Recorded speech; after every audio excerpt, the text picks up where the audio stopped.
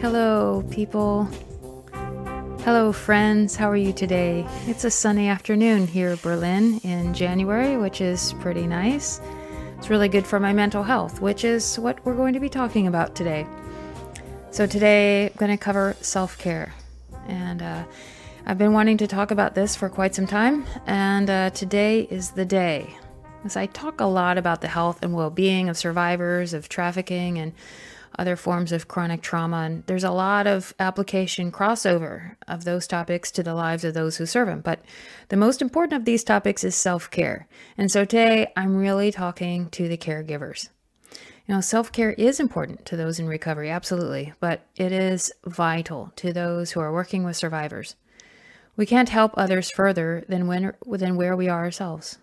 Furthermore, when helpers aren't in a healthy space, they can fall into traps of codependence or have their own healing wrapped up in the healing of others, which does really helps no one. Unhealthy people can wreak havoc in teams. Finally, lack of good self-care can lead to burnout, depression, and other more serious health, uh, mental health problems. These issues are larger than a self-care plan can fix, but following a plan to take care of our mental health will help prevent us from falling into these hazards. So, self care is a hot topic these days, and it's great that people feel freer to talk about how important mental health and overall life balance are in our daily lives. However, a lot of what I hear and read about regarding self care is not necessarily helpful.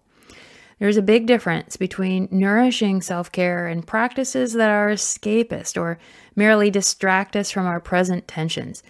You know, these latter kinds of escapist or relaxation activities, you know, they do have their role. I enjoy evening of wine and Netflix as much as the next person. You know, they help me relax and zone out a bit. But they don't lead to deeper inner well-being. You know, in principle, I tell myself like, "Oh, I can do this, you know, it'll get me into a relaxed state and I can do deeper work," but I, normally I haven't found that that's not the case. So, in the same light, Self care does not equal treat yourself. It's not that simple. Although treating yourself is a good thing once in a while, it's rather shallow. The danger of treating yourself is that it fuels a reward seeking mindset and can trigger addictive behaviors. So, self care is not a list of activities. Self care is a practice of maintaining a lifestyle that's generally balanced and sustainable. Self care is not something you implement when you feel yourself getting a bit fried or burned out. I mean, it's not a parachute. Although measures do need to be taken at that point, you know, I just wouldn't call that self care. You know, a good self care plan includes daily, weekly, monthly, yearly practices and routines that form a rhythm to our lives and can help prevent burnout or at least mitigate the downtimes. Of course, there's always times, and more often than we like, when it's impossible to keep balance. You know, our life isn't perfect. And sometimes life happens at a pace that's unsustainable. I mean, life happens. But when these circumstances arise on the foundations of good self care, then one has a resilience to survive, if not thrive through them. It's also possible that life crises or super hectic circumstances either seem to occur less frequently or they don't seem so overwhelming because a good foundation of resilience you know, has been built up and that buffers impacts. And we do have extra tools then to help keep us steady and maintain better judgment in our decisions and our life day to day. So I'm not going to tell you why you need to practice self care. You already know that you need to. I'm also not going to tell you what to do because only you can figure that out. What I am going to do here is outline some basic principles of self care and self care planning. But I'll also, I need to address the idea, maybe a myth, that self care is a woman's thing. It is not. Okay, so a lot of articles are written by women from women's perspective for women. But hey, guys, we need you strong. We need you take care of yourselves. And, you know, I'm not going to suggest anything here that's more feminine or masculine we all need to take care of ourselves and we need to learn some tools, maybe some principles about how to do that better. So, self care or self care plan slash lifestyle or MO has several components, and understanding these foundations can help you develop a plan that works for you. These activities can and probably should change based on where you are in your life stage and current environment. In my experience, the practices are basically the same, but the way I carry them out in my routine differs. While self care is not only a list of activities, self care does eventually boil down to what you choose to do or not to do.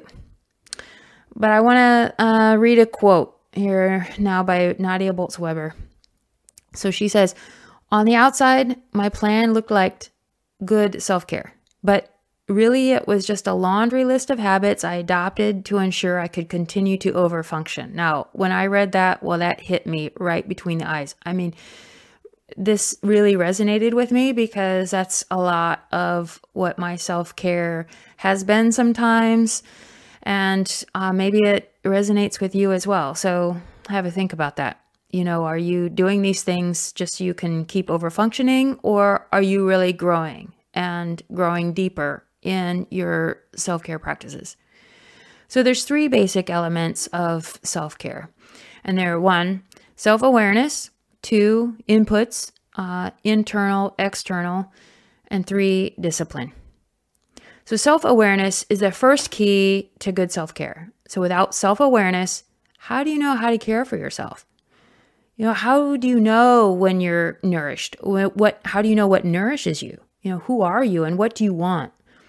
What are your resilience factors and resources, either internal and external? What are the things inside you that what are your strength factors inside? And and what are some things that are outside, maybe family or friends that are help that are resources to you. You know, what are your threats and weaknesses? Uh, these are internal, external. What are your what are your weaknesses that kind of get you down, or what are some external threats um, at the moment, or maybe on a regular basis? But how do we develop self awareness? You know, a lot of it is experience, life. Um, some of it's experimentation and trial and error. Like, how do we know what really nourishes you? Well, you might try something. You might read an article that outlines the 10 steps to self care or the last self care plan you will ever try, and then think, well, that's a load of rubbish. How can people think that bubble baths are the best thing since sliced bread? You know, it's okay to disregard someone else's advice, and it's okay to try something and not have it work for you. It's also very okay to try something that sounds good to you, but a little crazy to most people you know. For example, you know, many of you know I like to run for hours and hours at a time. And normally I, I almost always I do this without music, no podcasts, nothing but the thoughts in my head. And I'll run until I run out of thoughts. And then I'm in Zen mode. I'm fully present to myself. And that's a kind of uh, active meditation, if you will. So, you know, self awareness, and you can gain self awareness through journaling, other meditation practices or just figuring out or like what do i tend to do when i want to make myself feel better um, so these are some ideas so the poet rainer maria rilke has written uh, be attentive to what is arising within you and place that above everything else. What is happening at your innermost self is worthy of your entire love. Somehow you must find a way to work at it. So the second uh, key element are inputs, and inputs are the various practices and habits and activities that we can implement. External inputs are those things that we do with other people, and internal are the things that we do alone. So everyone needs a combination of internal and external inputs, although I think that being introverted or extroverted will influence the amount of time spent in one or the other type. Both are very important. So here's an example exercise. You know, there's group sports and activities that you do alone. Uh, but so running, for example, you know, my favorite topic, uh, will you run alone or with a group? And so running, I do most of my running alone, but I do enjoy group runs. I enjoy running with others and catch up and talk. It kind of helps pass the long miles or kilometers um, by. And so, exercise. There's group sports or activities that we do alone. So, running is my favorite topic. So, I mostly run by myself because, you know, I'm on a schedule and I've got to get stuff done. And I also have a training regimen that I need to adhere to. But once a week or every other week, I'll join a gr- group of buddies and we'll go out and spend long kilometers together and, and laugh and, and relax, but, you know, push ourselves as well. And so there's that balance of doing something alone and then with others. Singing is another great example a great way to relieve stress, enjoy with others. So, an external form would be joining a choir. An internal example would be singing solo. Yeah, I have a friend uh, in China, and she, after a stressful day, she would love to go to a karaoke place and sing solo karaoke for a couple hours, and that was her decompressing. That was her way of of relaxing, and I thought that was fantastic. Uh, so everyone has their own thing and um, finding your way. A good, another example of an external output could be meeting regularly with a friend for an honest check in. I mean, you're intentional about getting to the things that matter. Another example is meeting with a spiritual director or a prayer partner to help, you know, articulate what's going on in your own life. A meeting with a partner in a mutual uh, back and forth meeting is also good because if you're open, then someone is listening to you, but you're also opening and listening and holding space for someone else. And so this this thing in its various forms, I think, is a great benefit. And I this is one thing I do recommend um, doing.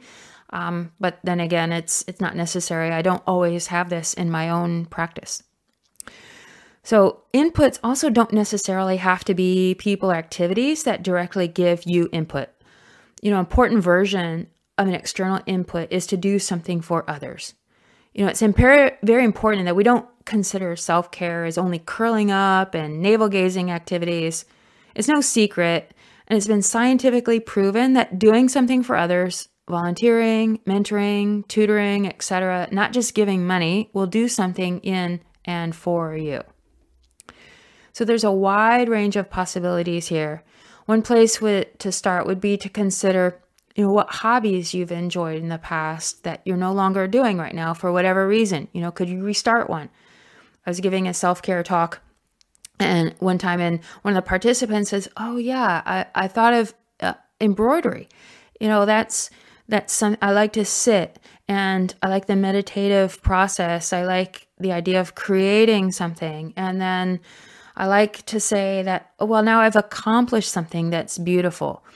And so perhaps there's things that you love but neglected due to other life circumstances. You know, is there a way to do something like that, bring it back, or another version of that in some different way?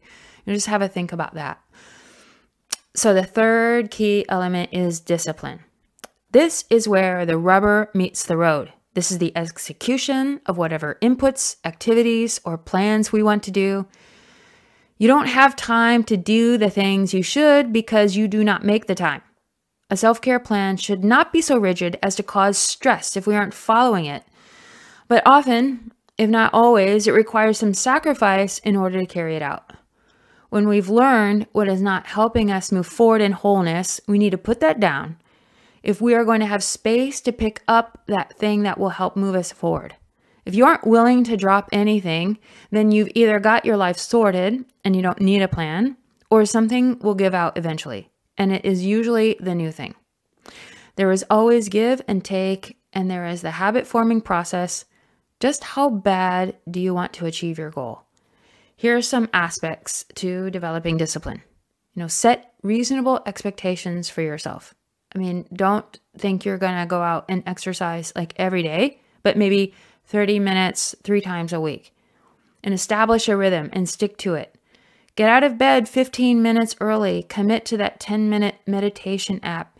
Even if you're not fully present, you'll adapt, you'll change, you'll get in the habit, and your brain and your body will get used to a new routine and it will thank you for it. You can say to yourself, I will put down my blinking phone and go to bed 30 minutes early. Uh, you know, get up go to bed early, get up earlier, you know, make the time for what you want to do. Establish reasonable boundaries with yourself and others. I mean, you know, this is going to take some work.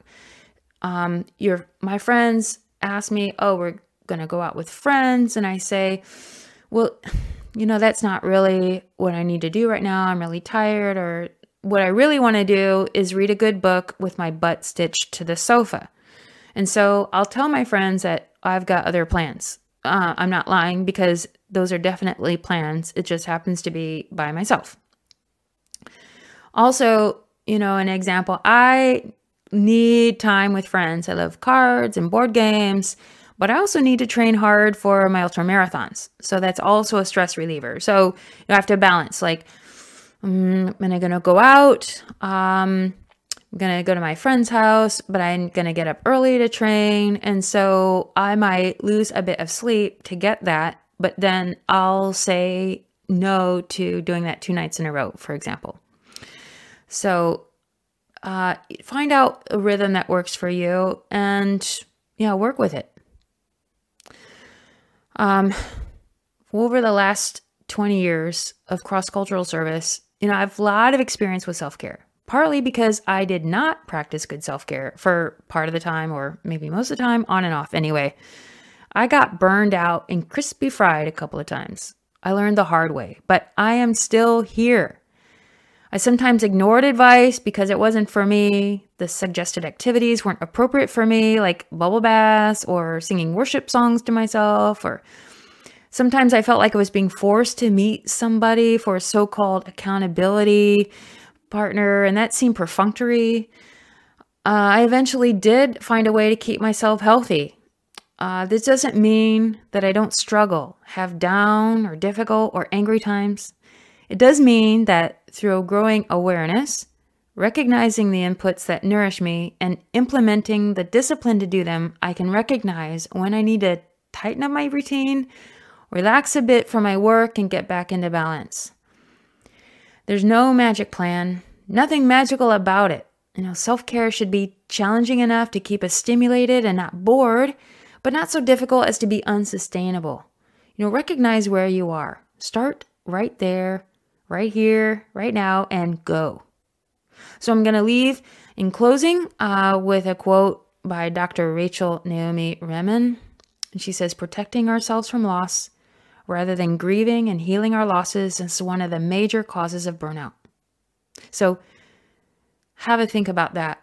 Please reach out to me in the comments below via my website contact. I love to hear how you're doing, how this has helped you, or not.